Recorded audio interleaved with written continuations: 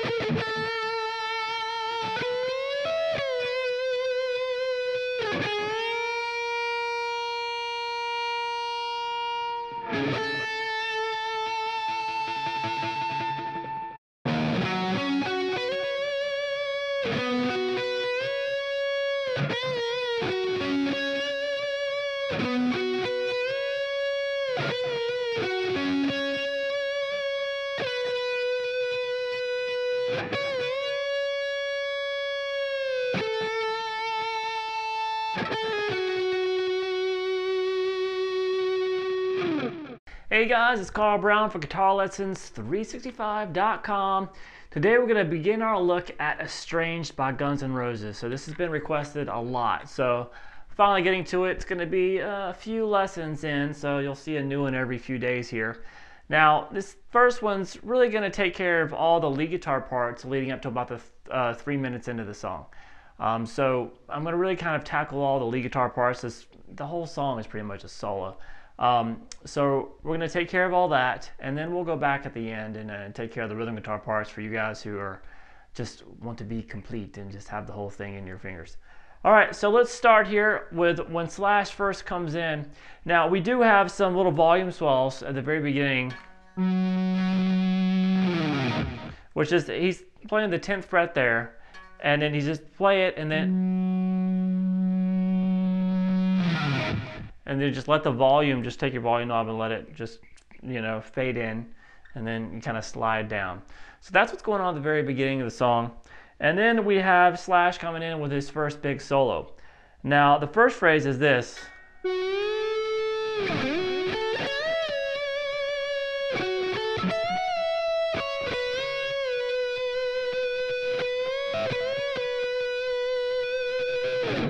All right, so what I did was another one of those volumes was at the very beginning. You're gonna grab the 12th fret on the G string, you're gonna pick it, and you're gonna actually bend it up a step and a half. So when you get to the top of the bend, you're gonna want it to sound like the note at the 15th fret. Now, as he's doing that bend, the volume comes up.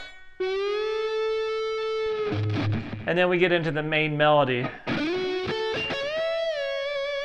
So that's sliding into the 12th fret on the G, over to 11 on the B, and then another step and a half bend at the 15th fret. You're gonna bend and release. So you want that one to sound like the 18th fret when you get it to the top. So it is.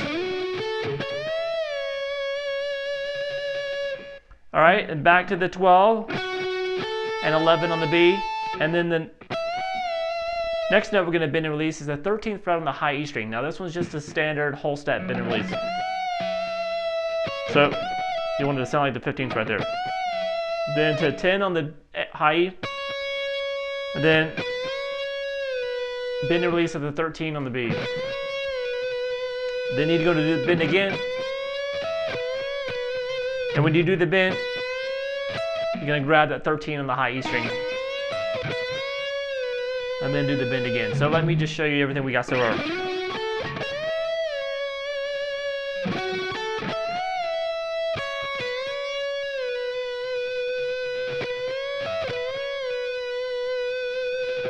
So start back over with that same melody.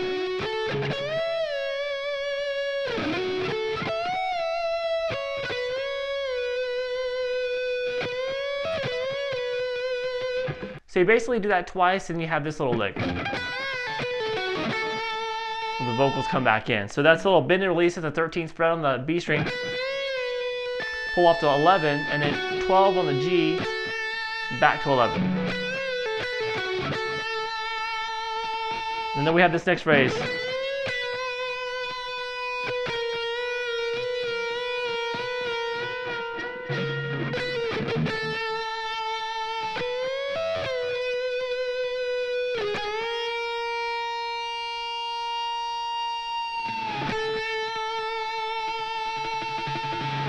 So he's obviously standing right beside an amp when you're when he's recording this. So when he sustains a note, it just starts kind of feeding back a little bit, um, which really helps that kind of that sound just continually uh, carry. So if you can't do that, just uh, pick it again. Yeah. So we basically after this uh, part, you hear the 11, then bend again at the 13, and then go to 12 you pick it, and it's a series of half-step bend and release uh, at the 12th fret. And then you're gonna pull off 13 to 12, and then play 11 again to start the melody over again. Then it's pretty much the same thing again. Come back here to the 10th fret, whole step bend. Let it ring. release and come up to 11 and play that and let that ring.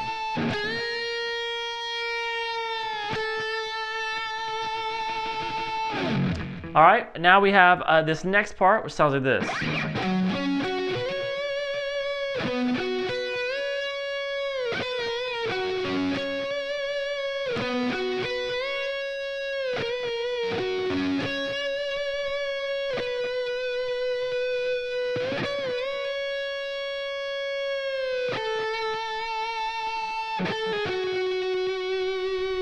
All right, so we're going to be starting here at, uh, it's kind of palm muted a little bit.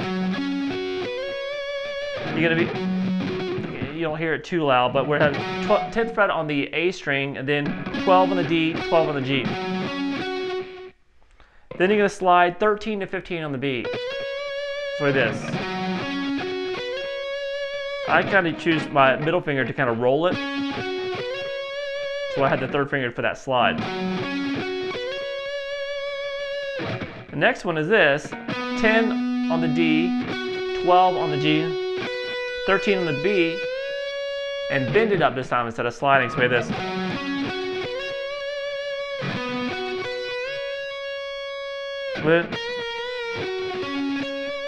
That's a half step bend and release there at the 12th fret on the B.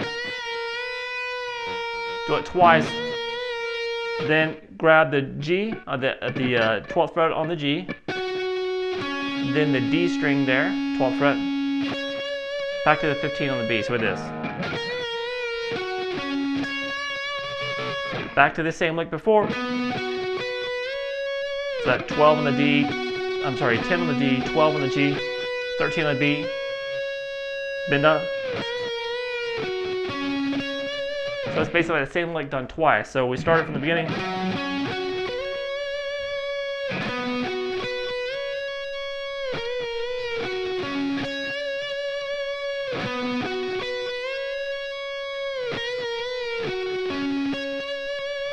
So let that ring, and then down to 13. Then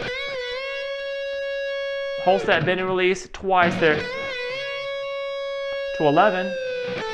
Now release that. And then you're gonna pull off 11 to 10, and then play the 12th fret on the G. And that's when the vocals come back in again, and he really lets starts letting those notes. He he holds that uh, 12th fret there and it starts feeding back and he starts playing the feet. It sounds like it's in a higher octave, but it's actually here on the G. But the, it sounds higher because it's actually a feedback, is what you're hearing. So we have this 12, and then it goes. So he's just messing between 12, 14, 15, then 17, 15, and then do a little hammer 14 to 15 on the G, pull back off to 14, and slide back down to 12. So this.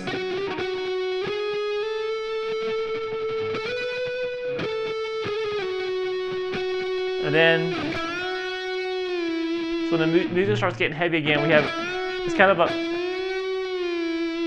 kind of a, uh, a kind of a volume swell in again. Hold that bend and release at the 10th fret, and then back to another bend, and then the guitar kind of dies out again. And then we get back to pretty much uh, the same section again um, that he played earlier. Sounds like this.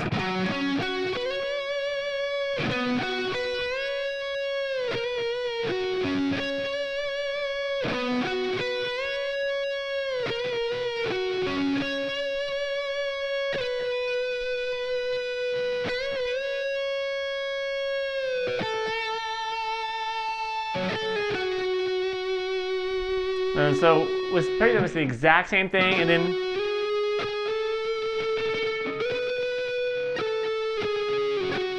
kind of back down to the 12, just going up that little scale, those little scale tones, back down to uh, from 12, 14, 15, 17, 15, 14, back to 12, and then uh, that's it for what we're going to cover in this lesson. That's um, that takes us to about the three minute mark of the song, and it's back into a, a kind of a quiet section.